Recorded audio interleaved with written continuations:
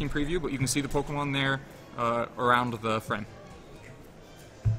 Uh, so we have a battle right now between Blaziken Burn, Daniel S, all the way from the East Coast versus a local player, Peachy Memo, Guillermo B. Both players are currently five and one. Uh, team preview showed Daniel running Salamence, Conkeldurr, Tyranitar, Thundurus Incarnate, Clefairy, and he ran a little bit of an East Coast special right there. Guillermo we're going to be running Cresselia, Tyranitar, Diggersby, Diggersby. Chandelure, Whimsicott, Metagross. It was Okay. Rotom Wash, not Cresselia. Oh, it, it was Rotom Oh. Ro- Wash Rotom instead of Cresselia. Yep. Uh, missing some of the form sprites. Right, they're four and one. Sorry, they're both four and one. I need someone to change that.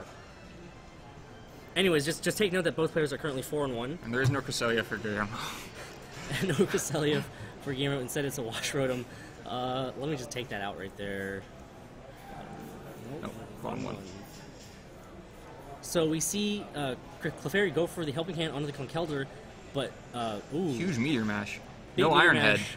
from Guillermo to knock out the Clefairy in one hit. Since Metagross gained its speed, we pretty much exclusively see Iron Head for the flinch chance. Uh, there's the rare Meteor Mash. We also didn't see Mega, so the. Or did we? We did. Mega Metagross. Yeah. Yeah. Uh, so so kind of rare to see that Meteor Mash, but does a lot more damage. There's a chance that Clefairy would have survived Iron Head, though. Unlikely.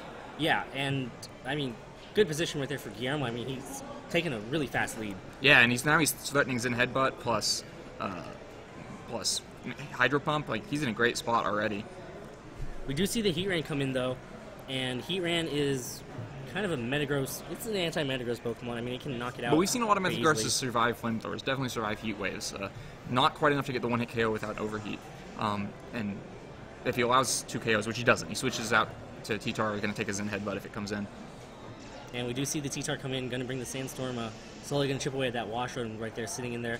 Metagross goes for that Zen Headbutt, but good call right there from Daniel to switch in that Tyranitar, like you called it, as Heatran gets to go for a Heat Wave and does not pick up the knockout on Metagross, unfortunately.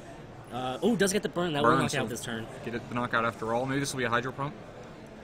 Uh, Rotom does go for the Hydro Pump, going to target down that Heatran most likely. Not going to be able to pick up the knockout, I think. Heatran is a very bulky Pokemon. Heatran does hang on, uh, and we see that chip damage on that Wash Rotom. So uh, Daniel kind of changing momentum right now. He does take the knockout on. Uh, Changing momentum in a lot because of how good that burn damage was. Uh, Yeah. Metagross still sticking around with its new faster speed uh, would have would have still been potent.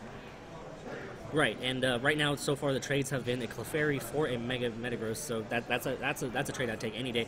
As we do see Diggersby, Diggersby comes in in a great spot, uh, ready to Earthquake, do a lot of damage.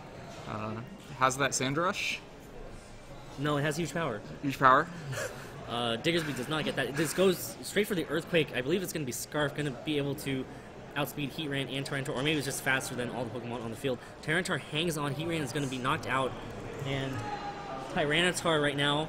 Uh, oh, Wash Rotom goes for the Hydro Pump, but Tyranitar dodges it, and Tyranitar goes for the Rock Slide. That is going to most likely not be able to pick up the knockout on Wash Rotom, but it's going to be. It does pick up the knockout on Wash Rotom. Uh, even then, I think it would, it would put it in range for Sand, Sand, yeah. So we see that the But Diggersby we, is now that we know that Diggersby's Scarf, but uh, does the question is, does have any more Earthquake immunes, or is he going to start Earthquaking himself?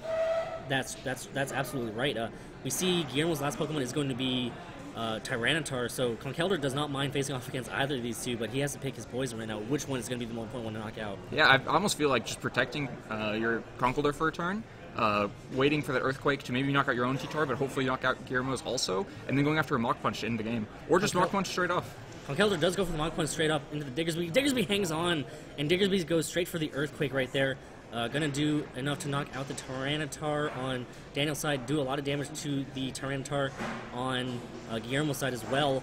Uh, unfortunately, Tyranitar there cannot make a move as Tyranitar goes for an Ice Beam onto the Conkeldurr.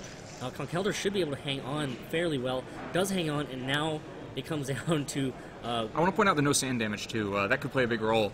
Uh, Safety goggles, right? Safety right, safety goggles, goggles. 'cause Otherwise, you know, you you expect that Conkeldurr, Conkeldurr and Tyranitar will protect this turn to w- scout out, or just Mach Punch. Never mind. I yeah, I would have preferred to see it protect right there. Oh, yeah, I would prefer to see the protect there. Try to knock, try to make it knocked out its own Tyranitar because that puts you at a Ooh, to big goes for an ancient power right there, gonna do a little bit of damage. Uh, But the next Mach Punch will knock out. the There's no way that KOs. Right, right, absolutely.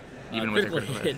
Gonna do some extra damage right there on top. So- as it looks like uh, he's just one Mach Punch away from winning. Right. So the reason you would have gone for two earthquakes there was to try to get the earthquake to knock out its own Tyranitar, which would have happened. Uh, and the reason the Safety Goggles is so important is that's a couple turns of sand damage away from being knocked out. If Tyranitar had Protect, um, it could have been the game changer, especially if it had been Ice Beam instead of Ancient Power. Uh, Right. would have done more. I mean, Conkeldurr was out there for what three, two or three turns. Is anything out there for more than that?